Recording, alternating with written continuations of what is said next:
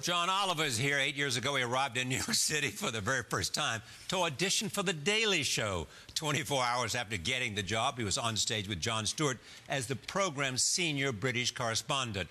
A three month stint filling in for Stewart last summer garnered positive reviews and a flurry of offers for Oliver to strike out on his own. And now he has. Last week tonight debuted on April in April on HBO, and here's what it looks like. A couple of weeks ago, uh, we did a piece about net neutrality. Uh, and there was a moment in it where we pointed out that Tom Wheeler, the chair of the FCC, which is tasked with regulating cable companies, was previously a lobbyist for the cable industry. Something of a conflict of interest uh, that we summarised thusly. That is the equivalent of needing a babysitter and hiring a dingo. Sure, it's a little offensive to Australia's favourite baby eating animal, but needs must for the joke. And look, you're probably wondering why I'm playing it again now. Well, on Friday, the FCC held an open meeting, and this happened. I'm just wondering if you watched the John Oliver segment about net neutrality and what you thought about it. Oh, uh, that is not good. Uh, so, what did he think? I think that it represents the um, high level of interest that exists in the topic in the country, um, and that's good. Um, I, you know, I mean, I, I, I, I would like to state for the record that I'm not a dingo.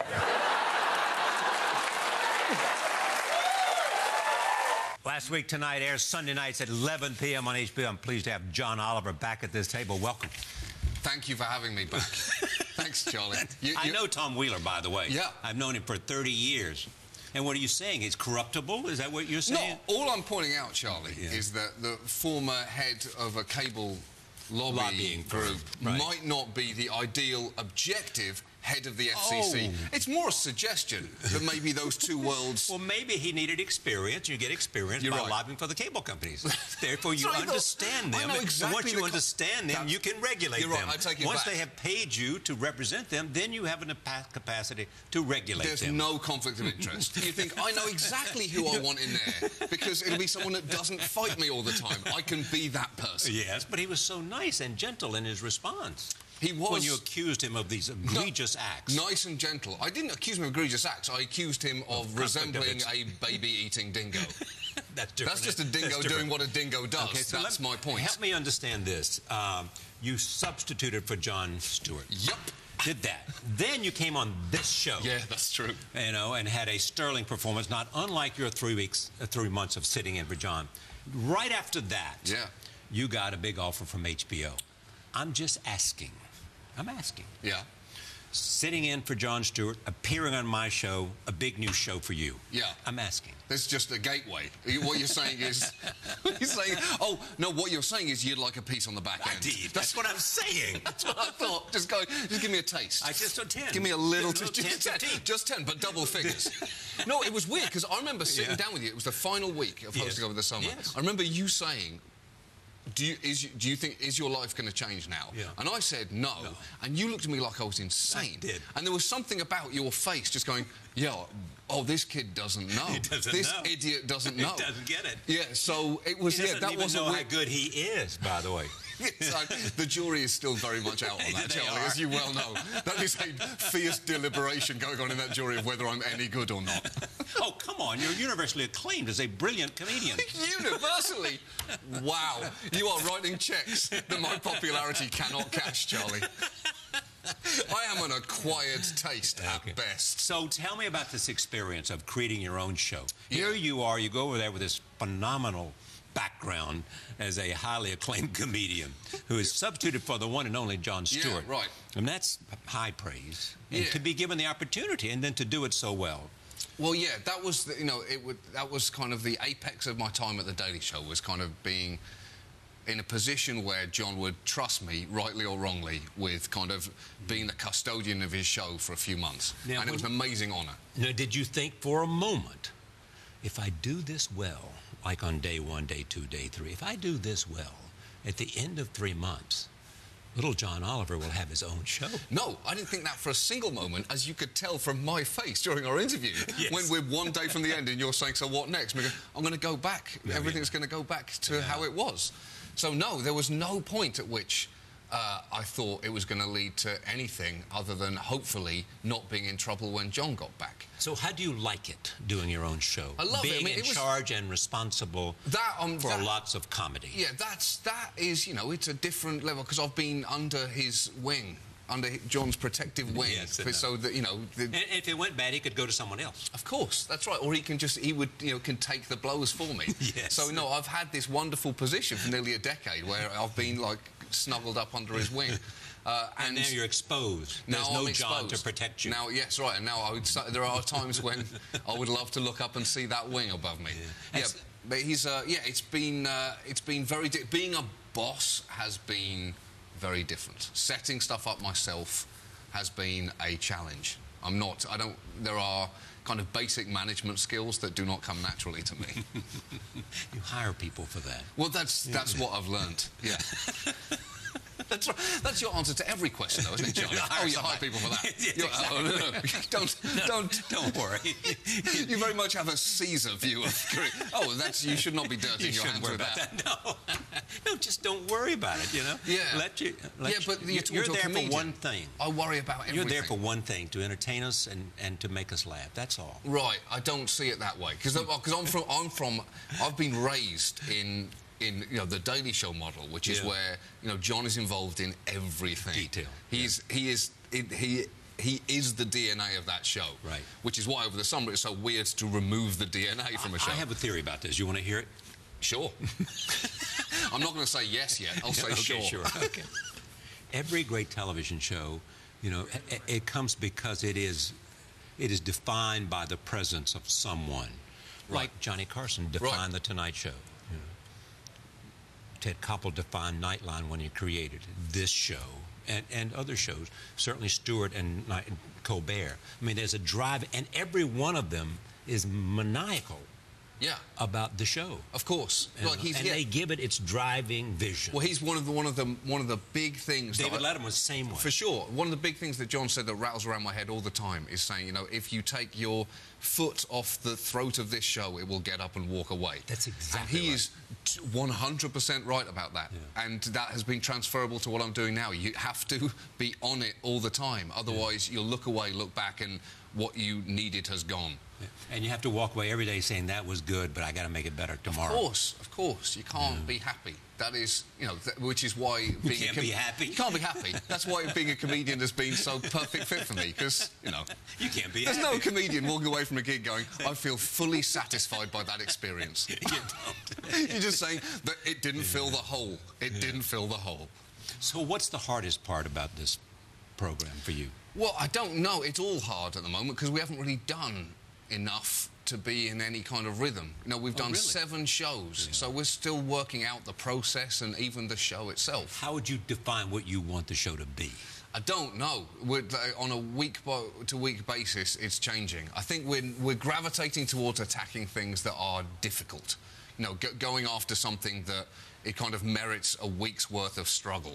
Uh, so, uh, you know, things like we've done things on FIFA or the death penalty or, or net neutrality. No, none of those things scream, that sounds funny.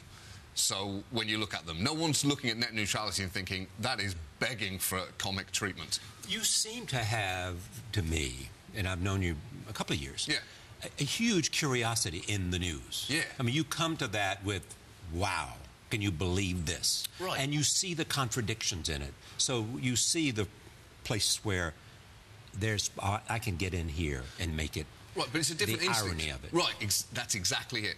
That is, that's it in a nutshell. Because you're looking for comedic ironies, comedic juxtapositions, and so in something like what we did with uh, net neutrality, there's there's an inherently comedic element Yes. of a kind of stupid call to arms because you're dealing with something which is incredibly important and incredibly boring, and affects. Some of the most driven people in the world, online commenters. Yeah. So you, you kind of there, there is an inherent juxtaposition between uh, the fact that no one cares about this, and yet the people who should care the most about it are some of the most poisonous active uh, online individuals. Does it make any difference? You're on HBO, and therefore you can say whatever you want to Well, say. it's been amazing. Yeah, it's you don't have to bleep it. You don't have to bleep it. It's not even to bleep it. Sure, you don't have to. It, and look, uh, it's a curse word is uh, you know a, a violin upon which you can play any tune. Yes. Uh, but also just in terms of content, you know, to do to do be able to do a, a long piece about the death penalty or about FIFA Yeah. is amazing because they don't. There's no restrictions. They'll They just let you do anything. Like FIFA just begs to be Yeah. satire, doesn't? And to be made. Yeah, because it's like it's basically ancient Rome in a current sports organisation. That's, see, and that's what you got to find. Yeah, and, and you're Ancient talking about Rome as a comparison. right? And you're looking at Caligula. yes, you are. We're not talking about functional Rome. We're talking about the guy appointing horses senators. That's what you're dealing with with FIFA. So yeah, the whole thing is a mess. It's a like a circus All right, of take a look at this clip. I want you to see this clip. Here it is. I would like to talk to you about the sausage principle. Uh, the theory that says if you love something, never find out how it was made. Well, tonight, I would like to show you my sausage. Wait, wait, wait, wait, wait. This is my sausage. The 2014 FIFA World Cup. Oh my God! okay, the World Cup starts this week, and I am both excited and extremely conflicted about it. Now, I know in America, soccer is something you pick your 10 year old daughter up from. But, but for me and everyone else on Earth, it's a little more important. Soccer had become Brazil's religion. In Colombia, soccer was a religion. Football is a religion here. soccer or football, like we say, it's a religion. Yeah, and they're not exaggerating. When David Beckham got a tattoo of Jesus, the response of most soccer fans was, "Oh, that, that's huge for Jesus. That's that's a big deal for him." He- Here's here's my conflict. The World Cup is one of my favourite things, but it's organised by these guys, FIFA. You either know it as the Fédération Internationale de Football Association, or that soccer video game you have.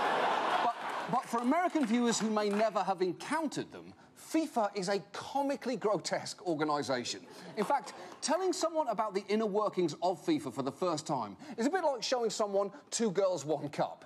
You, you do it mainly so you can watch the horrified expression on people's faces. I think that was lovely, but sausage is such a cheap shot. Sure. Look at my sausage. Yeah, look at my sausage. But you, you're chumming the water for, the, for what's coming, Charlie. You're just shaking it up. That's so right. they'll exactly. when you, ju- exactly. There's a little red Yeah. meat, little, just to get everyone's attention. And David Beckham makes Jesus look good. He does. Yeah. No, You know, David Beckham is, you know, in, in many ways uh, a religious figure. But I met him once, and I felt like I'd met God in a way. Oh, did you really? Yeah, and I probably dealt with it even worse than if I met the living Christ. I've never had the pleasure. Oh, he is perfect. Is He's he like really? yeah, he's. I mean, he's, uh, his Achilles He looks heel. perfect. He is marble. He, he is. really? He looks like a Greek like a statue. statue of a goddess, Perfect. a god. The problem is he has a voice that looks like he's inhaled helium. That's the one thing. Oh, you no. can't have him speak. Are you serious? Yeah, I, I swear to you. Like you'll say, David, great to meet you. Oh, lovely to meet you. Lovely, lovely to meet you, Charlie. No, Oh, no, tell love it. And you just go, oh, I'll be so David, disappointed. shh, David, close your mouth and just look askance for me. Just give him a profile. Like this? No, not like that, David. Without your mouth moving. Yeah, I'm telling you. It is, it's awful. Other than comedy, Yes. what do you want your show to be? Basically nothing other than it's a comedy show. Okay. So it has to be that. Okay, If, it, well, if we're, it's not we're that, accepting that. Yeah. we want to go one step beyond comedy. Would- what would else? To be, if, it's interesting, that is that's fun as well. If it's doing, if it's comedy about some interesting things, How about an insight into something and a way of looking at it that you hadn't thought about? sure, why You know, not? Like yeah. the idea of hiring the guy who, who, who formerly represented the cable company. Right, You know. right, because exactly because there are, and like you were saying, there are inherent comic juxtapositions throughout that story. Yeah. So you want to highlight those with comedy, especially with a story like that, which is boring. That is the most important story at the moment, which is too boring to care about. What's the biggest story for you I mean, think about the week that we're in. We You know, we got the World Cup, you've got the The war in we Iraq. did, the, we got did a big. Our first show, we did the Indian election. The, Oh, basically, yes, the most yes. of the show was just. The, it's the mo- There was nothing not interesting about the Indian election to me. The biggest. There was nothing Nothing not interesting. because it's the largest democracy in the world, and Oh, they're it's electing. the biggest expression of democracy in the history of Earth. This- this- if that's If not that's not interesting, story, I nothing, nothing is. nothing is ever interesting. And if you can't find something interesting in the largest democracy in the history of the world, Yeah, then you have your eyes closed. And you're your in the wrong shut. place. Yeah, it, it's a, that, that election was astonishing, Yeah. and and and you know in a in a, a, uh, a situ in a country that is you know riddled with class. Yes. Uh, you have Narendra Modi, a deeply controversial Yes. figure, uh, who used to sell tea at a railway station. It's, There's nothing that was not amazing about that election to me, and it was covered so spectacularly over there. That's when you realise that our cable news has become an airborne disease and has made it to India. Yes, it's true. Now you had General Alexander on your show too. Yeah. I mean, he's the guy who ran NSA. The NSA, he ran the NSA during its most, uh, let's say, fervent period. Yeah. when they were most active around the world. when they were certainly most, that's right, when they were defending us most rigorously, he would say. Yeah. And you could say, by the way, you probably don't know that I'm, and they could say, oh, we know. Yeah. Oh, yeah, that's right. Yeah. You probably don't know that I'm a Brit. They say, oh, no, we know. There was- there you was- didn't know that my mother's sister There was I, s- I worked. before I, I emailed the questions to our producer, and there was a moment when when I was filling in the subject line, I'd, I'd, I'd written General Alexander questions, and there was a moment I caught myself going, "Is this? Should I do that? should I call this something else, like you know, like menu for tomorrow?" Yes. It's weird how it plays with your mind. Yeah. Interviewing skills. Uh, I mean, is that one of the things that you've had to develop? Uh, first with John and then with this show. Yeah, in two speeds, I think, because I think there's two two different. Like I, I interviewed um, just on this week's show, we had Stephen Hawking as a Oh, guest. I saw that. Yeah. Tell me all about it because I've done the same thing. Yeah. So I can't wait to compare notes. Yeah, so he's. Well, I really wanted to speak to him for like a multitude of reasons. One, because I've, you know he's a fascinating guy. He's very funny. Right. He has a great sense of humour, and he is obviously wrongly defined by his disability. In, and it is the least interesting part of him as a man. Yes. You just you. I hate the. I hate the idea that most people, when they think of him, will think, "Oh, that guy in the chair with the, With the big electronic the voice." Yeah, and that's not right. There is a personality in there. There's there's not much left of his body. But here's the difficulty, and, and when you go see him, and I did this four or five years ago, went out to Cambridge, you have to submit the questions Well, because he needs time. It's got right, and it's actually got even worse Yeah, over the oh, last really? few years because uh, he's he is really slowed down. His his physical limitations are uh, worse than ever. so how did you meet the challenge of Well, interviewing Stephen Hawking? We emailed back and forth, and um, uh, emailed like some, some of the bigger questions that would take a more involved response, and then. Uh, I'd said in in asking him to do the interview, I would like this to be funny. I know that you know you've got a good sense of humour, so then I might ask you this on the back of it. That's a dumb question. Then you can get me, and so then he would come up with a slam. So and that that was really fun to watch because he's not he's uh, but you know you have him then. He's engaged in the game if he'll do that. yeah, and he's like he's the, the difficult thing in approaching that in a comedic context. That interview is that uh, his face cannot is not very expressive anymore. There's not much. He really only has one working muscle there now. So I was concerned about about showing that he was involved in and having fun in the game. And there was one moment when I knew he was about to get me, where I swear you could see his face light up because he knew he had a zinger ready and was going to drop it on me. And it was awesome. It was just awesome. Uh, I And you could see it, though. You You- could see it. he- You can see because you can. and he see- was ready to- Yeah, he was ready. He knew 'Cause he had to exactly. push when- a button it's there. Right, except not even. That's the amazing thing because the, long gone are the days where he's pushing I know, anything. I know, I know, So but it's I mean just somebody, you know. But yeah, uh, but he can just blink. No, so that's right. when he's triggering it with with a blink, and he knew, and he he got me, and he knew he got me, and his face You know, lit up. why and it was, was awesome. he so interesting for you? Because I think it's again, it's, I'm not. I, I don't know. Like most people, I don't know You didn't what study his physics. res- uh, for sure. To the point that I knew, even at one point, I was in his office and I was uh, uh, I was quite close to the blackboard, Yeah. and uh, my my uh, shoulder brushed it, and they did run over, going whoa whoa whoa whoa whoa. whoa. Yeah, you- you just rubbed When off I- the theory of the world. Exactly, and you see, oh, it looks like scribble. Look, I'll put it back.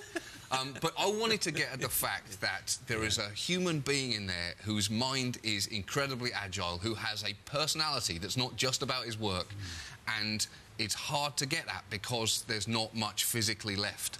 But I, I wanted, I, I wanted to try and show the the man inside this you know incredibly difficult situation, and because he's funny, and I wanted him to be funny, and he was, I think.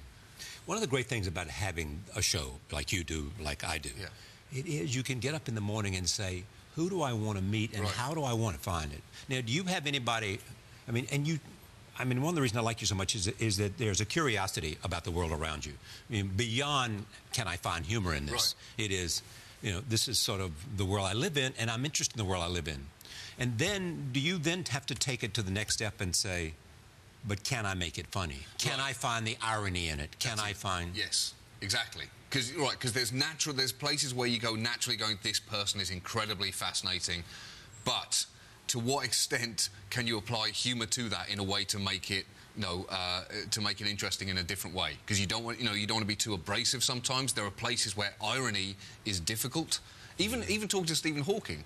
You're worried that that can come across as bullying unless you control it Or patronizing or for whatever. sure, and you don't want to. He is like people infantilize him all the time, and that's he's smarter than almost everyone. So there's no need to do that. You want to show that he can stick up for himself, and yeah, in other interviews there are there's definitely times where you need to work out where irony is useful and where it can be a problem. Hmm. It was hard. I did a piece in about UNESCO in Gabon. Uh, and it was uh, this was for the Daily Show, and it's uh, it, I was worried about how irony would work in a classroom that was about to get shut down, uh, full of uh, kids in West Africa. You, you worry you worry about whether irony in that room will work. You know that it will afterwards in the edit for the function of the piece. As it happened, it was fine, but that was that would be an example of a time where you worry. Oh, I'm not sure. We need to be careful here. Now, suppose you had a brilliant idea and, and you didn't want to put it on your show for whatever reason. Yeah. Would you pick up the phone and call John and say, man, do I have an idea? I'm coming back over to do something or do contracts and how little I understand about the way world works. I don't Prevent know. that. I don't know. Probably no. Probably we could do that. Yeah. Yeah. I mean, he's been amazing. Or I oh, you could speak have to him on your show at Yeah. some point oh, if you sure. wanted to. I speak to him I, I, it, at least on email, probably you know once a week, and just to uh, you know ask him about But you said that you live with the idea, I don't want to disappoint John. Yeah, still that he's still my high, right. He's still my high watermark. So I always I don't want to let him down. I didn't want to let him down when I was you know sitting in his job for him, but I still don't want to let him down now. He's still the the yeah the benchmark for me. Why did you become a comedian? Uh, because I had no place else to go, Charlie. Is that right? Pretty much. No, it's not. It's pretty. When did you to the know truth. this is what?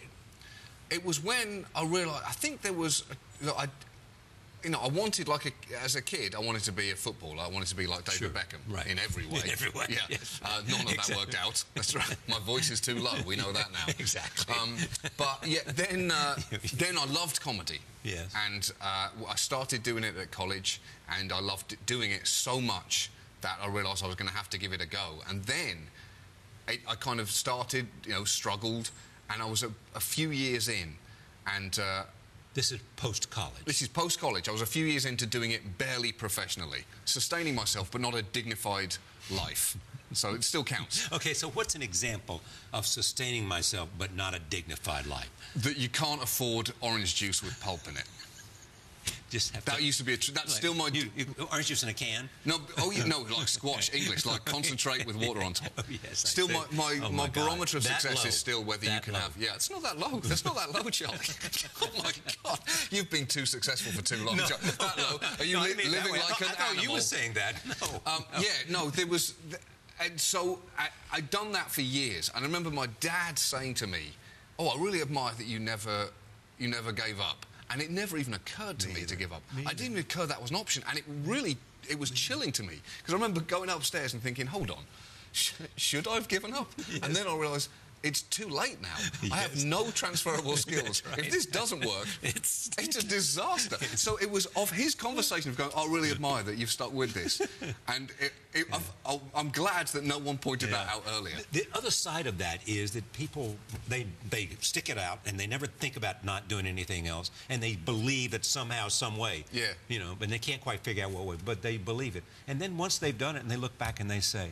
Oh my God! I would never do that again. though. I would never do that again. If I'd known it was that hard, I wouldn't have done it. But Well, you, when you're doing it, you don't think about that. Right, and there's right there is, and especially with stand-up. I mean, d- like, John and I have talked about this a bunch. That it's almost self-selecting because it's so miserable when you're starting off as a stand-up. You're being routinely humiliated. Right. You're going to places you are not required, uh, certainly not enjoyed. and not welcome. It destroys personal relationships. Yeah. You can't afford orange juice with pulp in it. There's no upside other than the fact that you have to do it. And so if there's any reason to quit, you will find it.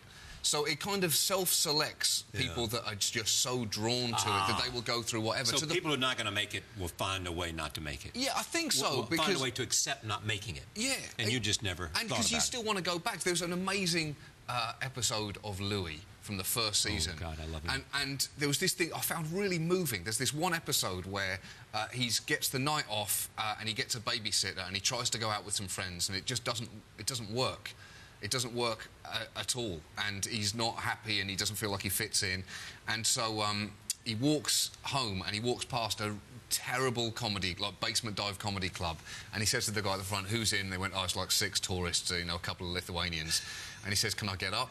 And he goes on stage, and for the first time in the episode, he looks happy in this mess. He's bombing. Yeah. He's not doing well, but he's really enjoying himself. And then he goes home and he gets his daughters up and he takes them out for like a like an early breakfast in a diner. And that, to me, that hits so home so hard because those are norm. I'm normally the most comfortable in some of the most disgusting places.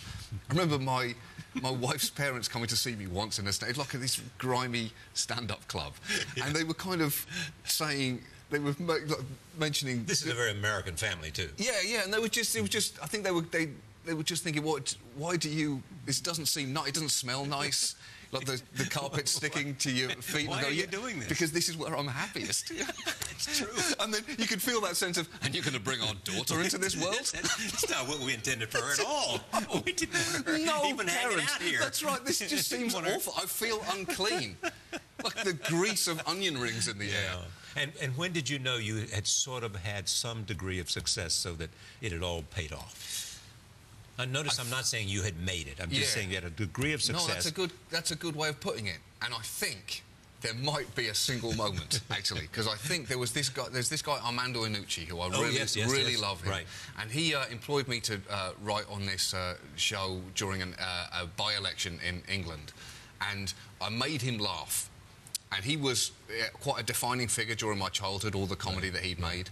And I remember thinking, after he and it was a proper laugh, not like a kind of friendly. He, like, he really laughed hard, and I remember thinking, I think I'm good now. I think this feels like the house is money from now on. Yeah. Because if I, that there was a legitimacy in thinking, oh, so I wasn't crazy to want to do this. He found something I said funny. So at this point on, I can't really complain about anything. oh, yeah. Yeah. So that that was probably the point where I thought I'm I'm okay now. And then how did you get hired by The Daily Show? They were looking for someone because they were about to lose a senior British correspondent. Yeah, well, that's right. Well, they were looking. They were about to lose a couple of correspondents Yeah. uh, to other jobs. Uh, Ed Helms was going to the office, and Rob Corddry was leaving for a sitcom. Right. And uh, so they needed someone, and they just threw the net a little bit wider. And I think Ricky Gervais had. Rec- I didn't know him, uh, but I think he He recommended you even though you did not know him. yeah, I think he knew the kind of things that I was writing in England, and so I think he'd said to John, "You should take a look at this guy," and then it happened very fast. Yeah. I mean, there is within the the club of comedians a sense of who's doing what well and, and who's beginning to hit it and who Yeah, has yeah. developed a kind of Yeah, one of the most exciting things is seeing comedians you've not seen before doing something great. Yeah. Like it's you know ca- calling around to go. Actually, there's this guy. He's started. I'm not sure if he's. I think he has just started on the Daily Show, but I remember seeing him very early. Michael Che. Oh yes. He's Yeah. really good. Yeah. He's a really good stand-up. I remember Yeah. seeing him a few years ago doing stand-up, and it was that feeling of going, "Oh wow, you are going to be great." Yeah, you can Yeah, see it. yeah. Much success to you. Thanks. Charlie. It's great to have you on this program. It's always good to I see you. I hope you. you will come back. Uh, Whenever. Thank you. Thank John you. Oliver, thank you for joining us. See you next time.